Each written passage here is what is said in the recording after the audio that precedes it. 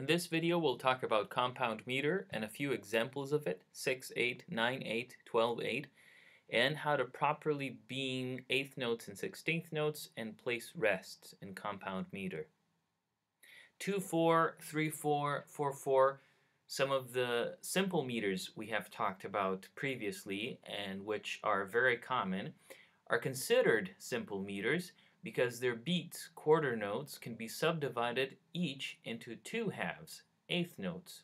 Some simple meters do not use the quarter note as the beat, like 2-2 or cut time, where the half note equals the beat, and there are countless other examples, but the idea is the same. In simple meter, the beat is subdivided into two halves.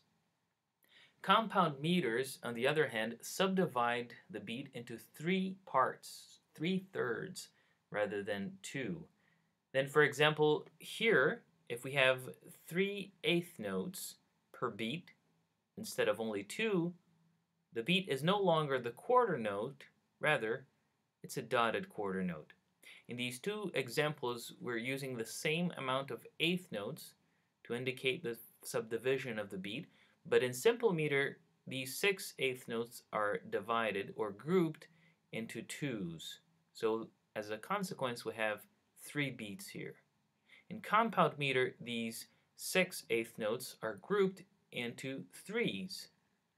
So in consequence, we only have two beats here. The idea that we have a dotted quarter note, or in more general terms, a dotted rhythm as the beat in compound meter, this idea holds true for all compound meters. The beat is always a dotted rhythmic unit. Here's an example. We've heard this melody a few times um, already. This is the Twinkle Twinkle Little Star or the ABC song or, or the Baba Sheep melody. And each time I've tried to bring out something different, right? That according to what we have been discussing. So now I want you to pay attention to the first playthrough, which will be in simple duple meter, 2, 4, which is what you would expect, how it is generally done. Notice the grand staff, right? So an indication I'm going to be playing this on the piano. I have treble clef, bass clef, all of the different rhythmic units happening here. And after I play it once in simple duple meter, I'll play it in compound duple meter. And the important thing here is to notice what the difference is.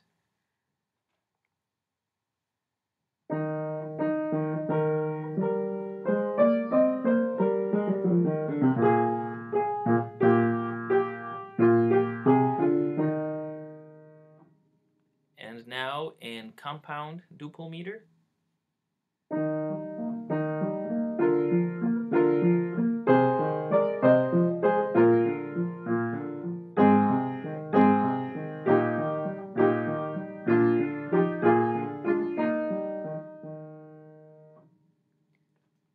Think?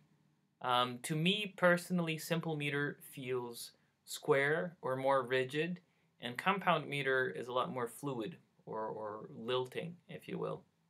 Um, I've tried to stress here, I know it is a bit harder to see than the example in 2-4, but I've tried to stress this idea that these beats, the dotted quarter notes, are subdivided into groups of threes, right? Three eighth notes for each beat. That's what the left hand is always, mostly always uh, playing here.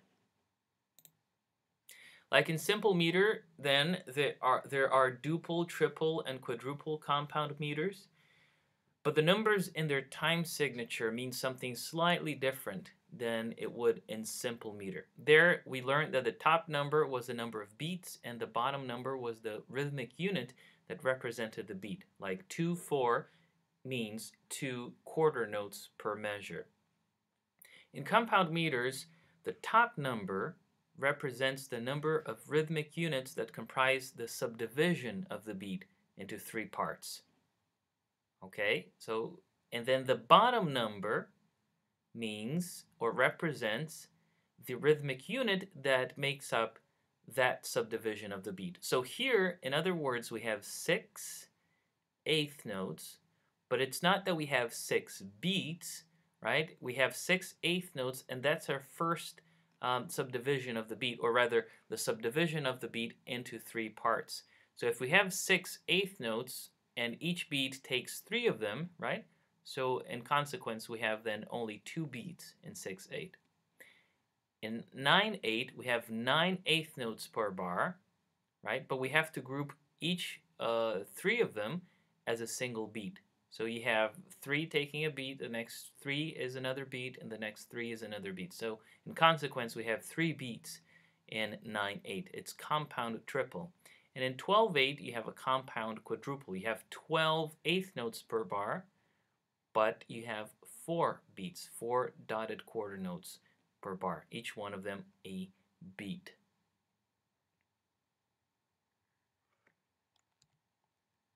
Here's a quick view of six of the some, uh, some of the most common simple and compound meters and their time signatures. Notice that a measure of 6-8 is filled with a dotted half note, very much like a measure of 3-4 would. The difference then should have, you know, become uh, clear by now is that in the number of beats. 6-8 will have two beats, and each of those beats will be subdivided into three eighth notes, and 3-4 has three beats. Each of those beats will be subdivided into two eighth notes. This difference, for example, between 6-8 and 3-4 though they will allow for the same number of rhythmic units and the same type of rhythmic units, um, also affects beaming and rests, as we'll see very shortly. Also notice how a bar of 9-8 is filled with a dotted half note tied to a dotted quarter note, and a measure of 12-8 is filled with a dotted whole note. So I've put here a few comparisons between simple meters, duple, triple, quadruple, and their compound meters counterparts. Full measure, what the individual beats look like, and the subdivision of those beats. Beat hierarchy in compound meters is the same as in simple meters. 6-8 being duple features a simple alternation of downbeats and upbeats. 9-8 being triple meter uh, has a strong downbeat and two successively weaker beats. And 12-8 has the same beat hierarchy as 4-4, strong, weak, medium, or, or semi-strong, and then the weakest being the upbeat. Beaming eighth notes and sixteenth notes in compound meter follows the beat organization. It's the same principle as we have seen before. So instead of beaming eighth notes in groups of twos, like we would in simple meter, here we beam them in groups of threes. However, we do not beam eighth notes across beats, even if we're beaming them in groups of threes.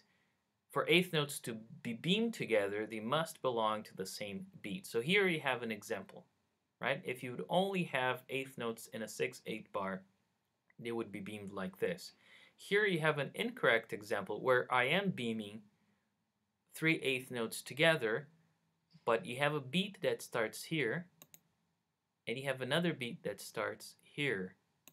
And your beaming is obscuring where the second beat is starting because it's subsuming that beat to an earlier, to this the fraction, you know, the second third of the first beat. So it's just confusing generally. It's always, uh, I guess, a rule of thumb in beaming and also in placing rests that you have to emphasize where the heads of the beats are. So this is incorrect. This is correct. For 16th notes, we do the same thing, but now we beam them in groups of six.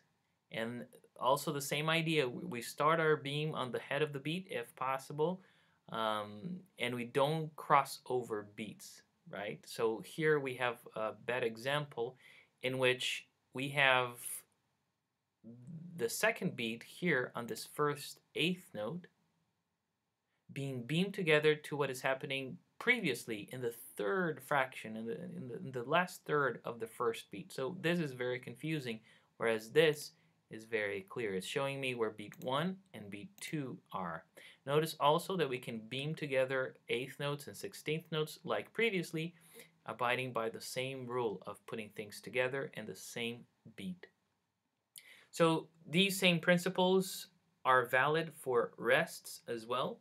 A single beat rest in 6-8, 9-8, and 12-8 is a dotted quarter note rest.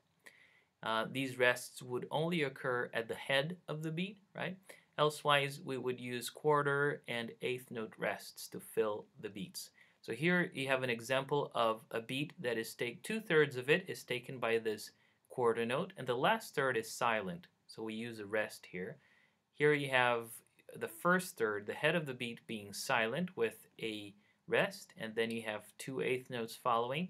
Now, you know, if this were 3-4, you would replace these two eighth note rests with a quarter note rest. Remember that the basic idea of using rests is that you try and use as long as a uh, rest as you can. So longer rests are favored. But in this case, using this um, quarter note rest would obscure the head of the second beat that happens here. So in 6-8, this is correct instead of this. Okay, thanks a lot for watching. In our next video, we'll talk about scales in general and more specifically about what major scales are and how they're formed.